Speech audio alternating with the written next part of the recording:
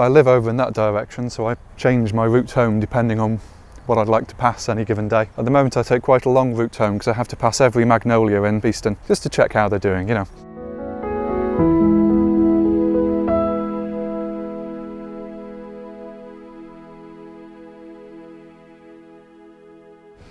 What we're looking at here is a primrose, a common native British plant. This is almost certainly a garden variety and I've brought this primrose here because, brought you to this primrose, I mean I didn't plant it, to illustrate one of the problems that plants have. You see flowering plants have rather complex sexual systems because every flower, if it's a perfect flower as we call them, contains male and female parts.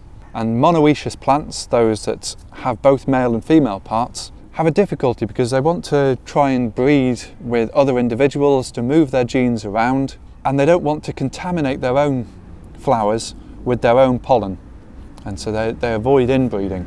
Dioecious plants are plants with imperfect flowers where the flowers are either male or female and we'll meet some cases of those later. But for now I just want to illustrate an interesting feature of primroses which shows one way in which plants can avoid trying to be pollinated by their own type.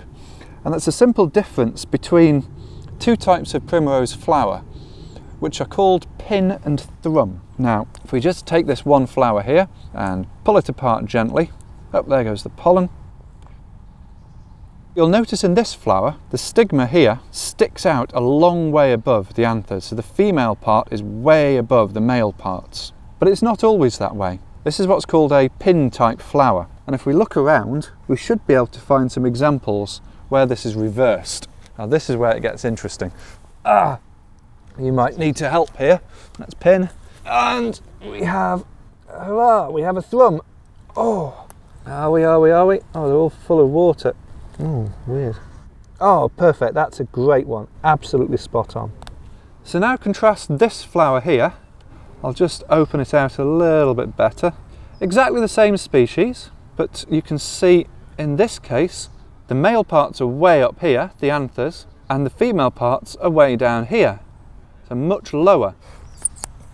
What we have here are the two different types of flower. Here you have the pin form, where you can see the male parts are down here, and the female parts are sticking up. And here you have the thrum form. The female parts are lower down and the male parts are on top. Any individual plant will only have one type of flower.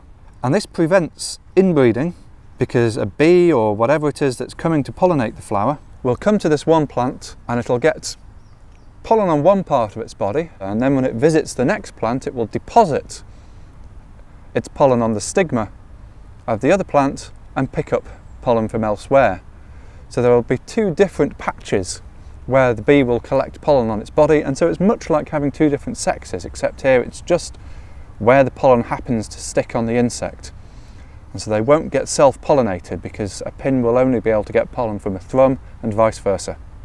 If you look at that central spike there, it is basically a pine cone stuck in the heart of a flower with multiple sections each of which will produce a single seed and if you see a magnolia after it's flowered when it comes into fruit, what you find is something that looks remarkably like this cone.